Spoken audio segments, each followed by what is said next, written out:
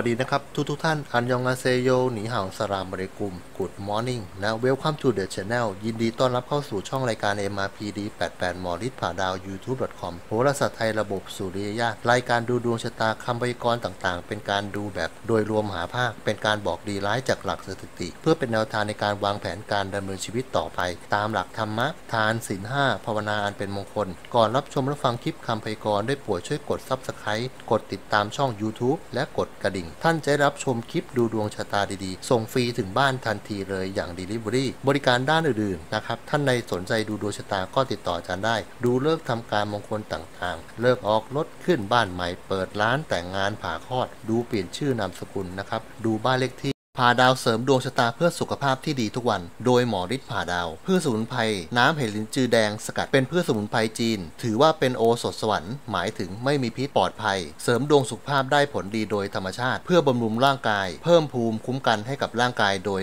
การกระตุ้นการทำงานของร่างกายต่างๆ เนื่องจากเห็ดลินจือแดงสกัดมีสารสำคัญเช่น โพลีแซนคาไลเบต้ากลูแคนและสารสำคัญที่สุดก็คือสารไตรเทอร์พีนในปริมาณที่สูง หลายตัวที่จะช่วยปรับสมดุลให้กับร่างกาย ให้มีสุขภาพร่างกายที่แข็งแรงขึ้นได้ผลดี สนใจใช้บริการสั่งซื้อสินค้า เพื่อเสริมดวงสุขภาพที่ดีทุกวัน น้ำเห็ดลิ้นจือแดงสกัดตาหลินจือลิน สวัสดีค่ะทุกท่านยินดีต้อนรับเข้าสู่ช่องรายการ MRPD 88หมอฤทธิ์ผ่าดาว YouTube.com รายการดูดวงชะตาลัคนา 12 ราศีเพื่อรู้ล่วงหน้าเหตุการณ์สถานการณ์ต่างๆ เป็นแนวทางในการดำเนินการบริหารจัดการชีวิตของท่าน ในทุกๆด้านให้ดีที่สุดและศาสตร์แห่งคำพยากรณ์ต่างๆ ดูเลขศาสตร์ปรับเสริมดวงชะตาราศีบูชาวัตถุมงคลมหายันต่างๆ เพื่อเสริมดวงชะตาหนุนดวงให้เป็นมหาละลุยเพื่อความเป็นสิริมงคล เรียกทรัพย์ต่อดวงชะตาชีวิตของท่านดูเลิกษ์ทำการมงคลต่างๆ และผ่าดาวเสริมดวงชะตาเพื่อสุขภาพที่ดีทุกวัน ก็จะมีการดูดวงชะตาต่างๆ ดูดวงชะตารายเดือนดูดวงชะตารายวันดูดวงชะตารายสัปดาห์ดูดวงผ่าดาวย้ายราศีดูดวงผ่าดาวเศรษฐีนำโชคใหญ่ในชันษาล้านล้านก่อนอื่นขอให้ทุกท่านช่วยกดไลค์กดแชร์คลิปกด subscribe ให้กับช่องนี้ด้วยนะคะ คลิปนี้เป็นคลิปดูดวงชะตาหมอฤทธิ์ผ่าดาวเศรษฐีนำโชคใหญ่ในชันษาล้านล้าน ขอกราบเรียนเชิญอาจารย์ฤทธิ์ผ่าดาวนักพยากรณ์ผ่าดาวโหราศาสตร์ไทยระบบสิทธิวิชามหาเวทดูดดาวเจ้าของช่อง MRPD 88หมอฤทธิ์ผ่าดาวค่ะ สวัสดีค่ะอาจารย์ สวัสดีครับ อันยองอาเซโยหนีห่าวสลามไปในกลุ่ม Good Morning Afternoon Evening Good Night นะนะนะชาลิติจุกรู สวัสดีค่ะอาจารย์ อาจารย์ฤทธิ์ค่ะในวันนี้จะมีดวงชะตาของลัคนา 12 ราศีไหนที่จะมีโชคลาภใหญ่ในชนสาล้านล้านได้เป็นมหาเศรษฐีคนใหม่ในช่วงนี้ราศีไหนเป็นหลักคะอาจารย์ ก็คือนะครับ ราศีที่จะเป็นหลักเลยก็คือชาวลัคนาราศี พฤกษกนะครับ เนื่องด้วยเหตุผลจากอิทธิพลจากดาวจรนะครับ เวลาอาจารย์จะทายนะอาจารย์จะทายซ้ายมือเนี่ยจะเป็นดาวจรปัจจุบันนะครับ ก็จะพยากรณ์ดวงดาวให้ ขวามือเนี่ยจะเป็นการคำนวณนะครับ เป็นโหราศาสตร์ไทยชั้นสูงนะครับ เรียกว่ามหาเวทดูดดาวนะของอาจารย์เนี่ยนะครับ เพราะฉะนั้นก็จะคำนวณดวงดาวต่างๆ ซึ่งจะส่งผลอย่างไรในเรื่องของโชคลาภดาวดวงดาวใดที่จะเป็นดาวเด่นนะครับค่ะ อาจารย์คดวงชะตาทั้ง 12 ราศีคนที่จะมีโชคลาภใหญ่เข้ามาได้ จะต้องทำอย่างไรบ้างค่ะ ในแต่ละเดือนนะครับก็จะรู้ๆกันอยู่นะครับว่าก็จะมีอยู่ 2 ช่วงนะก็จะมีช่วงช่วงกับหลิงหุยนะครับนะช่วงช่วงเนี่ยจะมาช่วงต้นเดือนนะครับหลิงหุยจะมาช่วงกลางเดือนไปแล้วนะจะบ่งบอกถึงว่าคุณจะมีโชคลาภและความสำเร็จ และจะมีโชคลาภลอยเข้ามานะครับถ้าดวงชะตาใครเนี่ยที่จะมีโอกาสที่จะเป็นอภิมหาเศรษฐีได้ ในช่วงข้ามคืนเขาเรียกว่ามีโชคใหญ่ในชนะสา คุณจะต้องเป็นคนที่อารมณ์ดีมีความสุขนะครับคิดดีทำดีพูดดี ดูหนังฟังเพลงนะมีแต่ความสุขนะครับสวดมนต์ไหว้พระทำบุญปฏิบัติธรรมก็จะเป็นมงคลในดวงชะตานะครับเพราะฉะนั้นอะไรซึ่งเป็นเรื่องที่ดีๆ หรือวันไหนที่จะเป็นวันแห่งโชคลาภอะไรก็แล้วแต่นะครับในวันนั้นในช่วงนั้นจะต้องคิดแต่ในสิ่งที่ดีมีแต่ความสุขนะครับในเรื่องของความทุกข์ความเศร้าความโศกต่างๆเนี่ยให้วางไว้ก่อนปล่อยไว้ก่อนพักไว้ก่อน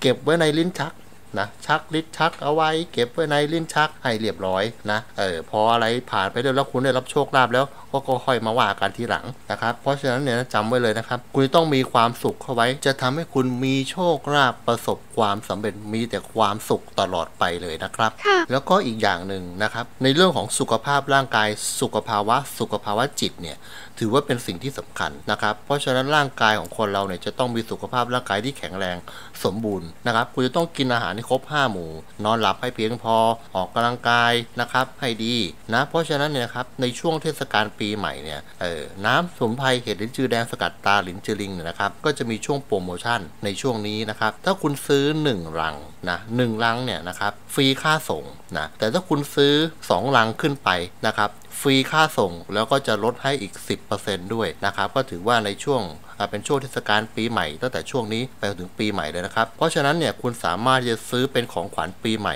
ให้กับคนที่คุณรักนะครับ ให้กับพ่อแม่ญาติพี่น้องนะเพื่อให้มีสุขภาพที่แข็งแรงตั้งแต่ต้นต้นปีและตลอดไปเลยนะครับ เดี๋ยวอาจารย์จะมีตัวอย่างคลิปนะบางคนก็อาจจะไม่รู้ว่าเอ๊ะน้ำสูตรไพรเห็ดจือนี้นะครับขวดมันจะใหญ่เล็กขนาดไหน เดี๋ยวอาจารย์จะให้ดูนะครับ ค่ะอันนี้นะครับผ่าดาวเสริมดวงสุขภาพที่ดีทุกวันนะครับ อาจารย์ก็จะมาแนะนำนะสินค้าผลิตภัณฑ์นะครับ เสริมอาหารนะเป็นพืชสมุนไพรนะครับ น้ำเห็ดลิ้นจือแดงสกัดนะตาลิ้นจือลิงนะครับ อันนี้ก็ผลิตภัณฑ์นะอย่างดีเลยนะครับก็เรียกว่าซีนอย่างดีเลย แล้วก็จะมีรายละเอียดนะว่าน้ำสปออันนี้นะครับ เรียกว่ามีปริมาณสารสำคัญเนี่ยนะเป็นจำนวนมากนะครับ แล้วก็จะมีหมายเลขออยด้วยนะครับเดอนะถูกกฎหมายทุกสิ่งทุกอย่างนะได้รับการรับรองออยออยอยแล้วนะครับ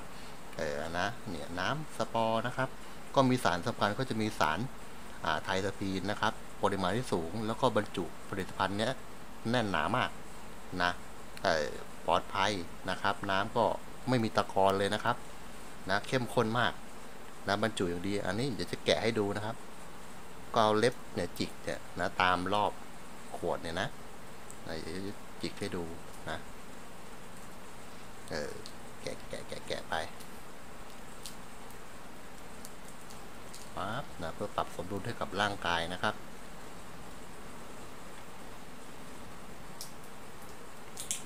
นะอันนี้นะก็แกะนะครับเออแกะออกมาก่อน ก็เดี๋ยวจะเปิดฝาให้ได้ยินเสียงเกินเลยนะครับนะเดี๋ยวจะกินสดๆให้ดูเลยเพื่อสุขภาพที่ดีทุกวัน ปรับสมดุลร่างกายนะครับ นะครับนะถ้าท่านใดสนใจก็ติดต่อสั่งซื้อได้เลยนะครับ ตามรายละเอียด สแกน QR Code บนหน้าจอได้เลยนะ โอเคนะครับ อันนี้มาต่อเกี่ยวข้องกับเลขนำโชคลาภกันต่อเลยนะครับ ค่ะ อาจารย์คะดวงชะตาทั้ง 12 ราศีในวันนั้นจะใส่เสื้อผ้าชุดสีอะไรดีคะและควรซื้อลอตเตอรี่สลากกินแบ่งรัฐบาล กับบุคคลลักษณะบุคลิกแบบไหนดีคะอาจารย์ คือมันอย่างนี้นะครับถ้าพูดถึงในเรื่องของสีเสื้อนี่นะ เพราะฉะนั้นนะครับในวันนั้นเนี่ยก็ถือว่าเป็นวันพฤหัสบดีนะในดวงชะตาในดาวพฤหัสบดีก็ถือว่าเป็นบริวารนะดาวซึ่งเป็นสีเนี่ยประจำวันนะครับสีก็คือโชคลาภความสำเร็จนะครับ ความเป็นสิริมงคลเป็นสิ่งที่ดี งามนะในดวงชะตาเนี่ยก็ถือว่าเป็นดาวอาทิตย์ เพราะฉะนั้นสีแดงเนี่ยเป็นสีที่ดีที่สุดนะเพราะฉะนั้นในวันนั้นเนี่ยจะต้องใส่สีแดงเข้าไว้นะครับ สีแดงแรงฤทธิ์จะนำโชคลาภเข้ามาอย่างไม่คาดคิดไม่คาดฝันได้อย่างรวดเร็วนะครับ ดาวดวงอาทิตย์เนี่ยก็ถือว่าเป็นธาตุไฟนะครับ ดาวเสาร์ นะก็ถือว่าเป็นธาตุไฟด้วยเช่นกันเป็นอสิทธิธาตุนะครับอาทิตย์กับเสาร์เนี่ยนะมันต่างกัน ถ้าดาวอาทิตย์เนี่ยจะมาเร็วไปเร็วนะครับถ้าดาวเสาร์เนี่ยมาช้าแต่อยู่นานนะเพราะฉะนั้นข้อแตกต่างกันนะเพราะฉะนั้นในดวงชะตาใครก็แล้วแต่ซึ่งดาวอาอาทิตย์เป็นดาวการเงิน อย่างเช่น ชาวลัคนาราศีกรกฎนะชาวราศีกรกฎเนี่ยดวงชะตาของคุณเนี่ยดาวอาทิตย์เป็นดาวการเงิน เพราะฉะนั้นในเรื่องของเงินเงินทองทองเนี่ยจะมาอย่าง รวดเร็วนะครับ เพราะฉะนั้นถ้าเงินมาอะไรก็แล้วแต่เนี่ยนะก็ให้คุณบริหารจัดการการเงินของคุณให้ดีนะครับ แต่ถ้าดาวเสาร์ชาวนัคนาราศีธนูเนี่ยหลายคนบอกบ่นกันเหลือเกิน โอ้ยทำไมเงินมัน ไม่มาสักทีนึง มารอแล้วรอเล่านะ คุณไม่ต้องห่วงนะครับ โอกาสที่ดีๆของคุณเนี่ยจะมาอยู่แล้ว ชาวลัคนาราศีธนูเนี่ยปี 2565 เนี่ยเป็นปีของคุณนะ ดาวพฤหัสบดีจรเป็นปฐุมเกณฑ์1ปี หมายถึงคุณจะมีบ้านมีรถ เพราะฉะนั้นเนี่ยดาวเสาร์จะส่งผลกับคุณมากในช่วงนั้น นะครับ ดวงใครดวงมันนะเพราะฉะนั้นคุณพยายามทำดีเข้าไว้นะครับสวดมนต์ไหว้พระทำบุญปฏิบัติธรรมก็จะเป็นมงคลในดวงชะตานะครับเพราะฉะนั้นพูดถึงเรื่องของสีสีแดงจำไว้เลยใส่สีแดงในวันนั้น จะนำโชคลาภมาให้คุณนะครับและดาวเด่นก็คือเลขหนึ่งนะครับแล้วก็เลข2นะในดวงชะตา แต่สีที่ห้ามใส่นะครับนะเออสีที่ห้ามใส่ก็คือ สีม่วง หรือสีอะไรก็แล้วแต่ออกดำๆมึนๆไม่เป็นผลดีในดวงชะตานะครับเพราะฉะนั้นดาวเสาร์เป็นสิ่งเก่าๆเดิมๆไม่ดี เพราะฉะนั้นไม่ควรซื้อลอตเตอรี่เลขเก่าๆ เพราะไม่มีโอกาสที่จะถูกคุณต้องซื้อเลขใหม่จำไว้นะในดวงชะตานะครับค่ะนะเมื่อกี้บอกสีไปแล้วนะครับ อันนี้เดี๋ยวจะพูดถึงคนนะบุคคลซึ่งคุณควรที่จะไปซื้อลอตเตอรี่ด้วยนะเพราะฉะนั้นในดวงชะตาเนี่ยนะบุคคลคนที่คุณควรที่ไปซื้อลอตเตอรี่ที่จะนำโชคลาภมาให้คุณนะ เป็นคนที่รูปร่างสันทัดนะครับ ผิวเนื้อดำแดงนะเป็นคนที่พูดจาก็อาจจะเป็นดูลักษณะมันก็พูดเผ็ดร้อนรุนแรงรู้สึกว่าจะใจหุนใจหุนหันไปบ้างนะใจร้อนประมาณนี้นะครับเพราะฉะนั้นให้คุณไปซื้อกับคนที่ ผิวเนื้อดำแดงนะเออเพราะฉะนั้นเนี่ยถ้าใครขายลอตเตอรี่นะนะ ถ้าคุณผิวขาวจวบนะ เหมือนแป้งโกกิก็ให้คุณไปตากแดดสักนิดนึงนะ หรือถ้าคุณขาวมากไปคุณก็อาจจะเอาอขี้เท้ามาทานะ เออแต่งให้มันแหมอันนี้ก็แล้วแต่นะ เออเพราะฉะนั้นก็ขอให้คุณมีโชคลาภประสบผลความสำเร็จและกันอย่าคิดมากนะครับค่ะอันนี้นะครับ เดี๋ยวเรามาพูดถึงดวงชะตาทั้ง 12 ราศีกันเลยนะครับว่าราศีไหนนะที่จะมีโชคลาภประสบผลความสำเร็จบ้างในวันที่ 16 ธันวาคมนี้นะครับ อันนี้เดี๋ยวจะเริ่มทดเริ่มต้นที่ราศีไหนก่อนดีครับ เริ่มราศีเมษค่ะ งั้นเริ่มราศีเมษกันก่อนเลยนะครับ แต่ว่าอันนี้ เดี๋ยวจะจะพูดถึงราศีซึ่งเป็นหลักก่อนเลยนะครับ แล้วก็จะต่อราศีเมษไปเลย แล้วก็เรียงไป 12 ราศีเลยนะครับค่ะชาวลัคนาราศีซึ่งจะนำโชคลาภนะครับ หรือจะเป็นราศีที่เป็นหลักนะในวันที่ 16 ก็คือชาวลัคนาราศีพฤษภนะครับชาวราศีพฤษภเนี่ยนะในดวงชะตาของคุณเนี่ยตัวเลขนะครับ อิทธิพลของดวงดาว ซึ่งจะมีผลต่อดวงชะตาของชาวราศีพฤษภนะครับ แล้วมีโอกาสทั้ง 12 ราศี นะ เพราะฉะนั้นตัวเลขในดวงตาก็จะมีเลข 2 8 9 3 1 2 8 9 3 1 อันเนี้ยมันเป็นโอกาสของชาวลัคนาราศีพฤษภนะครับ และอันนี้ที่สำคัญให้ระมัดระวังเลขศูนย์นะให้จับตาดูเลขศูนย์ไว้นะครับ เลขศูนย์ก็มีโอกาสที่จะเข้ามาอย่างไม่คาดคิดไม่คาดฝัน และเลขศูนย์นี้จะเข้ามาสู่ตัวเลขไหนนะครับ ก็จะเข้ามาสู่ตัวเลข 2 และ 8 อาจจะเป็น 2 0 หรือ 80 ก็ได้นะในดวงชะตา เพราะว่าเลขศูนย์นี้ เป็นเลขแอบของชาวราศีพฤกษภนะครับในดวงชะตา เพราะฉะนั้นให้เรามาระวังแล้วก็จับตาดูเลขศูนย์ไว้นะ โอเค ชาวลัคนาราศีเมษนะครับชาวลัคนาราศีเมษเนี่ยถือว่าดวงชะตาคุณเนี่ยจะมีโชคลาภด้านการเงินเป็นส่วนใหญ่นะครับชาวราศีเมษคุณจำไว้เลย คุณมีดาวพฤหัสบดีอยู่ในภพลาภะในช่วงนี้โดยประมาณ 6 เดือนนะครับก่อนดาวพฤหัสบดีย้ายวันที่ 8 เมษายน 6 65นะครับ คุณอย่าลืมเลข 5 นะ ชาวลัคนาราศีเมษนะครับ ในดวงชะตาของคุณเนี่ยก็จะมี 5 6 4 0 9 นะครับ 5 6 4 0 9 นะ เพราะฉะนั้นให้คุณไปจับคู่กันเอาเองเลยนะครับ โอเคนะ ค่ะ ราศีต่อไปราศีพฤษภค่ะ ชาวลัคนาราศีพฤษภนะครับ อย่างที่บอกเดี๋ยวคุณจะเป็นหลักนะ เพราะฉะนั้นตามดวงของคุณเนี่ยเจ้าชะตาจะมีโอกาสที่จะมีโชคลาภด้านการงาน หมายถึงก็คือสมมุติว่าสมมุตินะถ้าคุณเป็นคนขายลอตเตอรี่ นะ เป็นพ่อค้าแม่ค้านู่นนี่นั่นนะ คุณมีโอกาสที่จะมีโชคลาภจากงาน หมายถึงถ้าคุณขายลอตเตอรี่ไปแล้วเนี่ยนะ จะขายมากขายน้อยก็แล้วแต่จะเหลือเท่าไหร่ก็แล้วแต่นะ คุณก็มีโอกาสที่จะมีโชคลาภได้จากลอตเตอรี่ที่คุณมีอยู่ด้วยเช่นกัน ของชาวราศีพฤษภนะครับ ส่วนตัวเลขอาจารย์ได้บอกไปแล้วนะครับ ข้างต้นนะ ค่ะ ราศีต่อไปราศีเมถุนค่ะ ชาวลัคนาราศีเมถุนเนี่ยนะครับ ถือว่าดวงชะตาคุณเนี่ยยังมีดาวพระเกตทับกลุ่มลัคนา หมายถึงคุณมีสิ่งศักดิ์สิทธิ์คุ้มครองดวงชะตา และทำให้คุณเป็นคนที่มีเส้นลางสังหรณ์ด้วยนะครับเเพราะฉะนั้นเนี่ยตัวเลขมักจะมาจากความฝันนะครับ อย่างที่อาจารย์บอกเสมอว่าลางสังหรณ์ที่แม่นที่สุด ไม่ว่าจะเป็นเหตุการณ์เรื่องราวอะไรก็แล้วแต่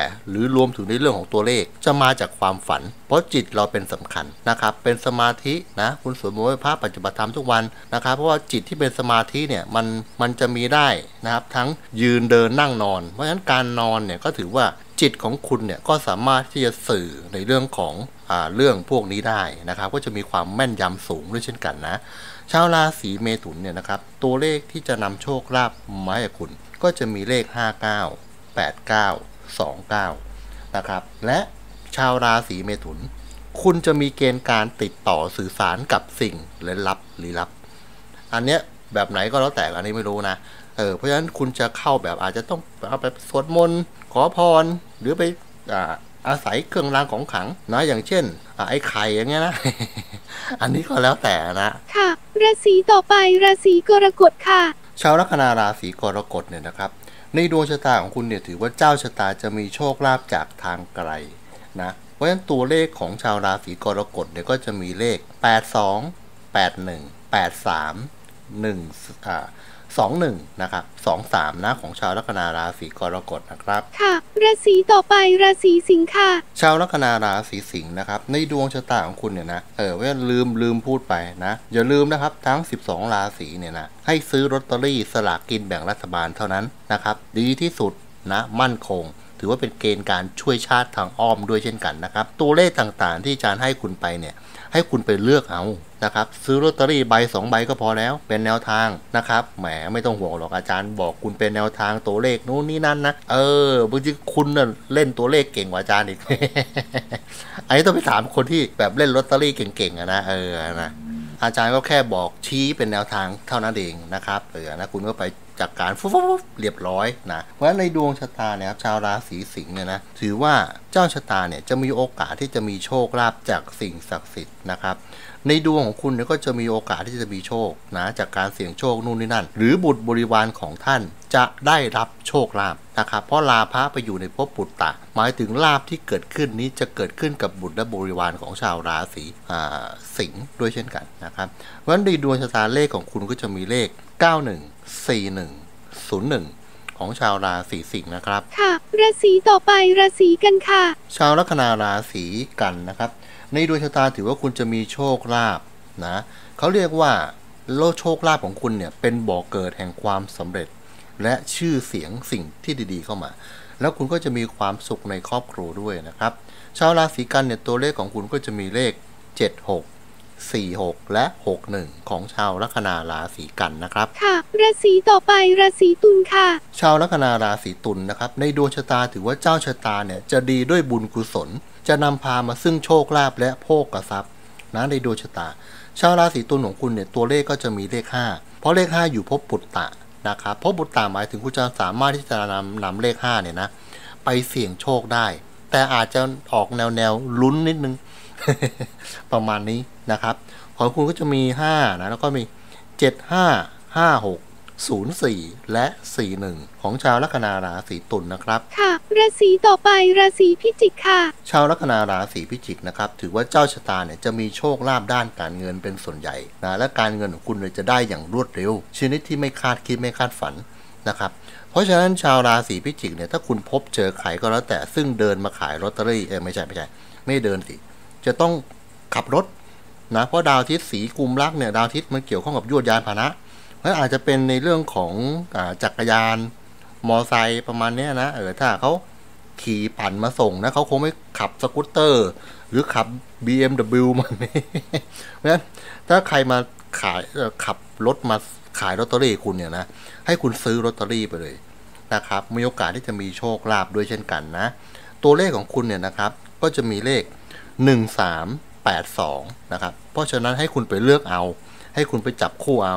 นะครับของชาวราศีพิจิกนะ ค่ะ ราศีต่อไปราศีธนูค่ะ ชาวลัคนาราศีธนูนะครับ ในดวงชะตาถือว่าเจ้าชะตาเนี่ยจะมีโชคลาภด้านการเงินด้วยเช่นกันนะชาวราศีธนูตัวเลขของคุณก็จะมีเลข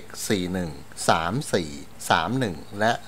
02 ของชาวราศีธนูนะครับ ค่ะ ราศีต่อไปราศีมังกรค่ะ ชาวลัคนาราศีมังกรนะครับ ในดวงชะตาถือว่าเจ้าชะตาจะได้รับโชคลาภเป็นกอบเป็นกำนะเพราะฉะนั้นชาวราศีมังกรคุณจำไว้ เลขบ้านเลขรถของคุณ เลขบ้านเลขรถของคุณนะครับ เพราะฉะนั้นไม่รู้อะนะว่า เลขบ้านเลขรถใครจะให้โชคลาภบ้างนะ ก็ขึ้นอยู่กับบุญกุศลของคุณนะเออหรือถ้าไม่อย่างนั้นนะครับ ก็คือเลข 3182 8183 ของชาวราศีมังกรนะครับ ค่ะ ราศีต่อไปราศีกุมค่ะ ชาวลัคนาราศีกุมนะครับ ในดวงชะตาของคุณเนี่ยถือว่าเจ้าชะตาจะได้รับโชคลาภเป็นบริวาร หมายถึงดาวพฤหัสบดีของคุณเนี่ยเป็นดาวเจริญภพลาภะและการเงินกลุ่มละหมายถึงการเงินและโชคลาภวิ่งเข้าหาคุณนะครับ ได้เป็นบริวารหมายถึง เอ้า คุณสามารถจัดการได้บริหารจัดการได้อะไปซื้อบ้านซื้อรถ นะไปลงทุนซื้อที่ดินซื้อทองคำอย่างเงี้ยโอ้ยสบายสบายเลยในดวงชะตาของคุณนะ ตัวเลขของคุณเนี่ยก็จะมีเลข 94 75 แล้วก็ 56 หรือ 59 ของชาวลัคนาราศีกุมนะครับ ค่ะ ราศีต่อไปราศีมีนค่ะ อันนี้นะ ชาวลัคนาราศีมีนนะครับ ในดวงชะตาถือว่าเจ้าชะตาจะมีโอกาสได้รับโชคลาภนะแต่ดวงชะตาของคุณเนี่ยดาวเสาร์ในวันนี้ไม่ค่อยดี เพราะฉะนั้นคุณจำไว้อย่างที่อาจารย์บอกขั้นต้นนะครับ ตัวเลขเก่าๆ อย่าไปซื้อ อย่าไปตามมัน มันไม่มีโอกาสออกหรอก เออ นอกจากมันคิดจะออกมาเองนะเออเพราะฉะนั้นเนี่ยให้คุณอ่าซื้อลอตเตอรี่ตัวเลขนะครับ ก็จะมีเลข 76 74 แล้วก็ 46 ของชาวลัคนาราศีมีนนะครับ และสิ่งที่สำคัญชาวลัคนาราศีมีน ดวงคุณเนี่ยมีดาวมฤตยูอยู่ในภพการเงินนะครับ หมายถึงคุณคาดหวังมักเรื่องการเงินมักผิดหวังเสมอ นี่คือความหมาย เพราะฉะนั้นคุณอย่าไปคาดหวังเรื่องการเงินมากนัก หลายคนซึ่งมาดูดวงชะตากับอาจารย์เนี่ยนะครับ ผิดหวังเรื่องการเงินมาตั้งแต่ปี 59 ตั้งแต่ดาวมฤตยูย้ายเข้ามาเนี่ย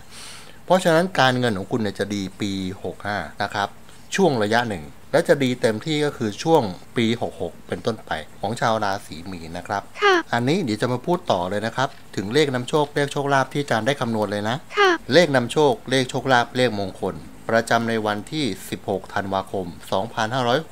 2564 นะครับ อย่างที่อาจารย์บอกคุณเนี่ยนะ เออเลขที่อาจารย์ได้คำนวณนี้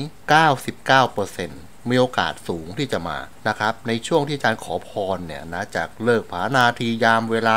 ต่างๆ อาจารย์ขอพรนี้จากองค์พระศิวลีเถระพระอารหัง สัพพะลาพังประสิทธิเมนะครับ เพราะในดวงชะตาเนี่ยโชคลาภมีโอกาสที่จะมา เพราะฉะนั้นอาจารย์ขอให้กับคนที่ชอบสวดมนต์ไหว้พระทำบุญปฏิบัติธรรม ก็จะเป็นมงคลในดวงชะตา สิ่งที่อาจารย์ขอไปนะครับ ก็คือขอให้เป็นการต่อบุญต่อกุศลนะครับ เพื่อให้มีโชคลาภคุณได้รับโชคลาภไปแล้วนะคุณจะได้ไปทำบุญต่อ แล้วก็ไปทำสิ่งที่ดี นะครับ จะได้เป็นมงคลพาดาวเศรษฐีนำโชคใหญ่ในชนสาล้านล้าน เลขที่ออกก็คือเลขตาแตดนะคุณเห็นไหมนะครับ ตัวเลขที่อาจารย์ได้วงไว้นะ เพราะฉะนั้นดาวเด่นในดวงชะตาเลยนะครับ ก็จะมีเลข 0 4 2 5 8 นะ อีกครั้งหนึ่ง 0 4 2 5 8 นะครับ อันนี้เดี๋ยวอาจารย์ต้องบอกคุณก่อนนะครับว่าอย่าลืมนะไปซื้อลอตเตอรี่เท่านั้นนะครับฟิกสลากกินแบ่งรัฐบาลใบสองใบก็พอแล้วนะฮะให้คุณไปเลือกเอานะเออเลือกให้ถูกแล้วกันคุณอาจจะถูกตรงใจโอ้ฉันถูกใจเลขนี้นะฉันฝันเลขนี้ พอดีเป๊ะเอ๊ะฉันรู้สึกว่าเลขนี้ดีกับฉัน อันนี้ตามสบายไปเลยนะครับ หรือว่าอ่าเลขบ้านเลขที่คุณเลขตรงกับที่อาจารย์ได้คือได้คำนวณมา อันนี้คุณก็ซื้อลอตเตอรี่ได้เลยเพราะอาจารย์จะแบ่งตัวเลขเนี่ยนะครับเป็น 80% 70% 60%และ 50%นะเพราะฉะนั้นเวลาคุณดูเนี่ยนะครับ ให้ดูบนบนก็คือ 80%กับ 70%เท่านั้น แต่ส่วน 60% 50%เนี่ยนะคุณดูผ่านๆไป ไม่ต้องไปคิดมากนะครับเออเดี๋ยวบางทีนะคุณก็อาจจะอาจจะไปเลือกก็ได้แล้วแต่คุณ แต่ในบางครั้งเนี่ยมันก็อาจจะออกอย่างไม่คาดคิดไม่คาดฝันด้วยเช่นกันนะโอเค อันนี้เดี๋ยวจะมาพูดถึง 80%กันก่อนเลยนะครับ 80%ก็จะมีเลข 04 40 14ไอ้14เนี่ยให้คุณจับตาไว้นะครับ02นะ42 05 45 84 80 21 51 81นะครับ อันนี้อาจารย์ก็จับคู่ให้คุณเป็นที่เรียบร้อยแล้วนะ อันนี้ต่อมา 70%นะครับ ก็จะมี 01 94 72 75 78 32 35 83 92 นะครับ เพราะฉะนั้นคุณก็จดไปนะ 80 กับ70 10อ่าจะ70%นะครับ ส่วน 60%อันนี้คุณฟังผ่านๆไปนะ 60%ก็จะมี 62 65 86 96 46 34 74 59 89 50เก้าห้าสิบเส้น73 36 76และ91นะครับ อันนี้ก็คือ50%นตนะ เพราะฉะนั้นอาจารย์ก็ได้จับคู่ให้คุณเป็นที่เรียบร้อยแล้วนะครับ ไม่ว่าจะเป็นเลขแอบหรือไม่แอบก็แล้วแต่นะ เพราะฉะนั้นคุณดูจากหน้าจอนะครับพื้นดวงชะตาทางซ้ายมือเนี่ยนะจดี๋ยวจะบอกให้ฟังนะครับว่าเลขแอบเนี่ยมันแอบยังไง แล้วมันส่งผลกับดาวไหนนะครับ อย่างเช่น ดาวมฤตยูนะครับ แอบเลข 8 กับ 2 เออ เพราะฉะนั้นดาวมฤตยูมีผลกับเลข 8 กับเลข2กับดาวจรนะครับ เห็นดาวเกตไหม เพราะฉะนั้นเลขแอบของดาวเกตก็คือ 2 กับ 8 มันก็มีผลเหมือนกัน คือมีโอกาส 50 50 มากก็ได้ ไม่มากก็ได้นะครับ มาดูราศีธนู เลขแอบราศีธนูก็คือ 3 1 นะครับ ซึ่งจะมีผลต่อ เลข 4 ด้วยเช่นกันนะราศีมังกรเลขแอบก็คือเลข 4 ครับ 4 ก็จะมีผลกับ 7 และ 6 เท่านั้นนะส่วนดาวพฤหัสบดีนะครับเออผลก็จะมีที่เลขแอบ 7 กับ 6 มีผลต่อดาวพฤหัสนะครับ อันเนี้ยในดวงชะตานะโอเค อันนี้ครบแล้วนะครับ ทั้ง 12 ราศีเนี่ยอาจารย์ก็ได้คำนวณเป็นที่เรียบร้อยแล้ว ให้โชคลาภนะครับ กับแฟนคลับของมอริสปาดาวทุกคน นะครับ จะได้มีความสุขความสำเร็จมีเงินมีทอง มาหมุนขับเคลื่อนธุรกิจต่อไปนะครับ อันนี้อาจารย์ฝากอยู่อย่างหนึ่งนะครับ เรื่องการเงินโดยเฉพาะเรื่องการเงินนะเออคุณจำไว้นะ ปี 2565 นะครับ ถ้าในเรื่องของการเงิน ถ้าช่องทางโอกาสลู่ทางไหนก็แล้วแต่ ถ้ายังมีเงินมีทองเข้ามานะครับ ไม่ว่าจะเป็นลูกหนี้เจ้าหนี้หรือในเรื่องของงานหรือรับงานอะไรก็แล้วแต่ นะครับ ซึ่งคุณยังสามารถมีเงินเข้ามาหมุนในสภาพคล่องของคุณได้ คุณจำไว้คติประจำใจปี 2565 เรื่องการเงินก็คือสุภาษิตนะกรรมขี้ดีกว่ากรรมตดจำไว้เลย